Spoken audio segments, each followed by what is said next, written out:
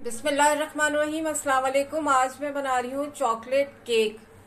इसके लिए एक कप, सबसे पहले दूध डालेंगे एक बॉल में। उसके बाद शक्कर को ऐड करेंगे। एक ही कप शक्कर भी लेंगे। दोनों चीज़ों को अच्छी तरह ब्लेंड करेंगे। इसको जब तक ब्लेंड करेंगे, जब तक शक्कर अच्छी तरह दूध में मिक्स ना हो जाए। चीनी अच्छी तरह ब्लेंड हो गई है। अब मैं इसमें अंडे ऐड करूँगी। मैंने चार अंडे लिए हैं। चार अंडे का ये केक बन रहा है। एक एक करके इसमें ऐड करते जाएँगे और मिक्स करते जाएँगे साथ साथ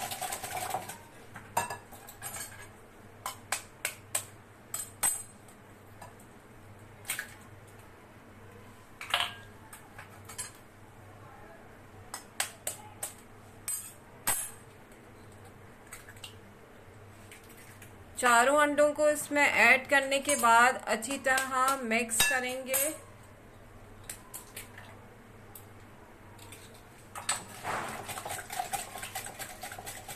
अंडों को अच्छी तरह बीट करने के बाद इसमें ऐड करेंगे मैदा। एक कप मैंने मैदा लिया है इसके लिए।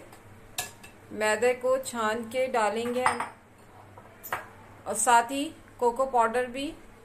ऐड करेंगे। चार टेबल स्पून कोको पाउडर है। एक टीस्पून बेकिंग पाउडर डालेंगे। तीनों चीज़ों को अच्छी तरह छान के अंडों में ऐड करेंगे। तीनों चीज़ों को छानने के बाद इसको अच्छी तरह मिक्स करूँगी मैं।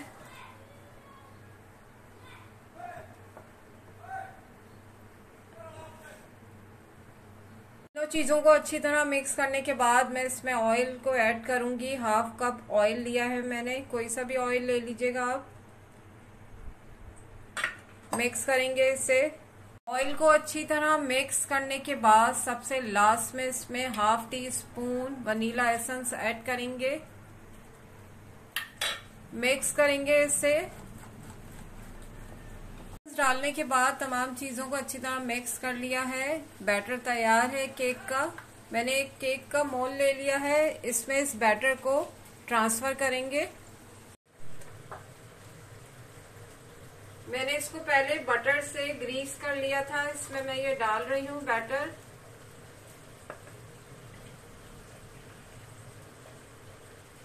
दस मिनट पहले मैंने पतीले को प्री हीट होने रख दिया था, मीडियम फ्लेम पे। मैं पतीली में ये बना रही हूँ केक।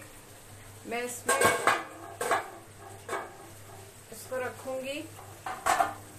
50 मिनट्स के लिए इसको बेक करेंगे, कवर करके। 50 मिनट्स के लिए मैंने कवर करके इसको बेक होने रख दिया था। देखिए कितना अच्छा सा बेक हुआ है ये। इसको मैं निकाल लूँगी इसके नीचे मैंने एक स्टैंड रखा था, बेक होने से पहले। मेल्ट की हुई चॉकलेट मैं इस केक के ऊपर डालूँगी। मेल्ट की हुई चॉकलेट मैं इस केक के ऊपर डालूँगी। चॉकलेट डालने के बाद मैंने इसको डेकोरेट कर लिया है। चॉकलेट केक तैयार है। ज़रूर इस रेसिपी को ट्राई कीजिएगा। वीडियो पसंद आए, लाइक करें, शेयर करें। मेरे चैनल को जिन्होंने अभी तक सब्सक्राइब नहीं किया सब्सक्राइब करें। अल्लाह हाफिज़।